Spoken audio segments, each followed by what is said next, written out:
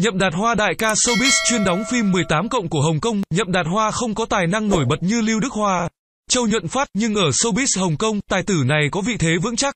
Tờ Nam Đô từng nhận xét về Nhậm Đạt Hoa như sau, diễn xuất hạng trung, độ nổi tiếng thua kém nhiều đồng nghiệp. Anh không có tài năng xuất sắc như Lương Triều Vĩ hay Châu Nhuận Phát nhưng vẫn được nhớ tới với gia tài hơn 300 bộ phim. Ngoài ra, Nhậm Đạt Hoa còn là ân nhân của Lưu Đức Hoa, là ông Hoàng không ngai của làng giải trí Hồng Kông. Một nam diễn viên mà khi đóng cảnh nóng cùng, các minh tinh không cảm thấy e ngại hay bị xúc phạm. Đặc biệt, Nhậm Đạt Hoa dù có vẻ ngoài bặm trợn hay tai tiếng liên quan đến xã hội đen, tài tử vẫn được nhắc đến như là một người chồng mẫu mực yêu vợ chiều con. Ông Hoàng Sắc Dục từng đóng phim 18 cộng, trong sự nghiệp của mình, Nhậm Đạt Hoa đóng không ít các tác phẩm 18 cộng. Có những bộ phim bị đánh giá dung tục nhưng cũng có những phim nhận được đề cử của liên hoan phim kim tượng danh giá. Nhậm Đạt Hoa từng đóng phim 18 cộng hồi mã thương với mỹ nhân y năng tịnh, có những cảnh quay nóng bỏng táo bạo với ôn bích hà trong kinh biến. Anh còn đóng ấy, hoa hậu chuyên đóng phim nóng, ông Hồng trong giữ không nổi phong tình. Danh sách những người đẹp từng có những cảnh quay tình tứ ướt át với Nhậm Đạt Hoa còn có Khâu Thục Trinh với sát thủ lõa thể. Đóng cặp cùng, nữ hoàng phim nóng Hồng Kông, Diệp Ngọc Khanh qua Cash on Delivery, Trương Tịnh Sơ trong ngày và đêm ở Thiên Thủy Vi. Trong một lần hợp tác với Nhậm Đạt Hoa trong bộ phim 18 cộng Sarah, nữ diễn viên Thái Trác Nhiên đã chia sẻ đàn anh khiến cho cô yên tâm khi đóng cảnh nóng vì cảm thấy được tôn trọng. Đó là lần đầu tiên Thái Trác Nhiên diễn những cảnh phim táo bạo, cô cảm ơn vì Nhậm Đạt Hoa đã hướng dẫn tận tình. Đại ca, đầy quyền lực làng giải trí xứ Hương Cảng, Nhậm Đạt Hoa không phải là diễn viên danh tiếng nhất, nhưng là nghệ sĩ có tiếng nói, được gọi là ông Hoàng không ngai trong làng giải trí xứ Hương Cảng.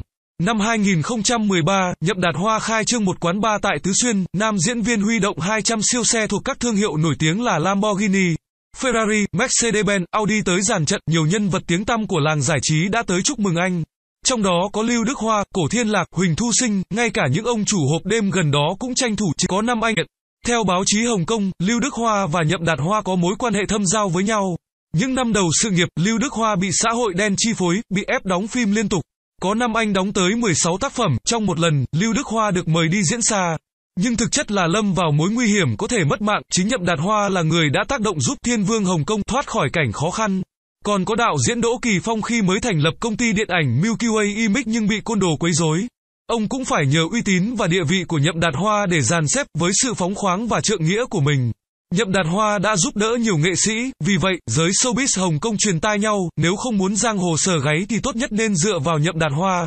Nhậm Đạt Hoa có quyền lực như vậy bởi anh xuất thân trong gia đình có truyền thống làm cảnh sát. Cha tài tử từng là một quan đặc vụ, anh ruột Nhậm Đạt Vinh giữ chức trưởng phòng nhân sự cảnh sát Hồng Kông từ năm 1998. Sau đó, ông còn được đề bạt làm phó trưởng phòng cảnh sát Hồng Kông, nhờ vai với anh trai. Nhậm Đạt Hoa, hô mưa gọi gió, trong ngành giải trí, trong những năm qua, tài tử này kết thân với nhiều tổ chức và luôn duy trì quan hệ tốt với họ. Người đàn ông sợ vợ, chiều con, báo chí Hồng Kông ước đoán Nhậm Đạt Hoa sở hữu khoảng hơn 30 bất động sản giá trị trên khắp thế giới.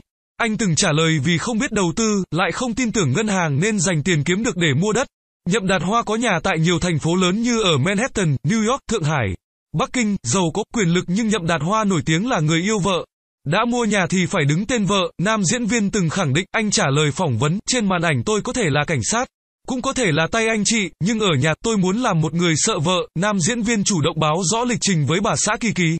Kết hôn đã hơn 20 năm nhưng cặp đôi vẫn ngọt ngào như thời trẻ, mới đây, con gái lớn 14 tuổi của Nhậm Đạt Hoa gây chú ý khi xuất hiện trên tạp chí Cosmopolitan Hồng. Nhậm tình giai Elaiem, sinh năm 2004, mới chỉ 15 tuổi nhưng đã sở hữu chiều cao 1m8 cô là nhân vật trẻ tuổi nhất của tạp chí thời trang này trong vòng 35 năm qua.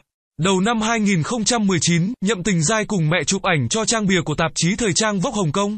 Có thể thấy vợ chồng Nhậm Đạt Hoa đang tạo điều kiện hết mức để con gái theo con đường nghệ thuật. Được sinh ra trong gia đình quyền lực, Nhậm tình giai dễ dàng lên trang bìa loạt tạp chí danh tiếng. Điều mà nhiều nghệ sĩ trẻ khác khao khát và phải phấn đấu trong thời gian dài.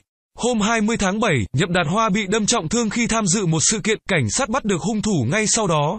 Những lời đồn thổi về nguyên nhân vụ việc được đăng tải ở nhiều trang báo.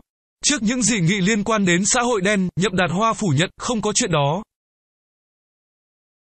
Cảm ơn bạn đã lắng nghe. Chúc các bạn có một ngày làm việc thật vui vẻ. Hãy bấm nút like và để lại bình luận phía bên dưới của video. Đừng quên đăng ký và nhấn nút chuông bên cạnh để nhận được những video mới nhất.